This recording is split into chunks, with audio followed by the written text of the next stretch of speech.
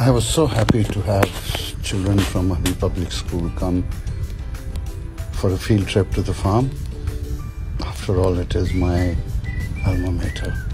I spent 10 years in Habib School. Field trips should be in the field, obviously. Children must come out into the environment and learn about growing vegetables and about trees and about the animals and birds and the biodiversity and sustainability. Here they get to learn about growing vegetables, they get to feed farm animals, get close to the animals, and everything is a learning experience for them. We teach them during these activities, we teach them, we tell them, we tell them about the animals, we tell them about the seeds and the vegetables and how to plant and how to grow and what is compost. And then there are these hands on activities that the kids get involved in. They plant the seed themselves. Of course, depending on the age group, every different grade has different activities, unless the kids are coming to the farm for the first time.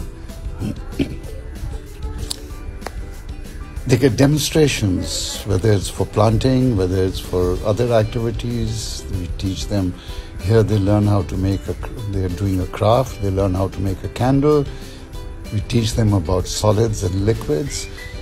All these activities at the farm, every step that they take, there is learning with fun. A field trip in the field, they are learning naturally. They are learning through looking, hearing, through seeing, hearing the sound of the birds and the butterflies. Where do the children get an opportunity to go outdoors? Today, in our urban living in the cities, and that to a city like Karachi, where the butterflies and birds have disappeared, oh, look at them hug a tree.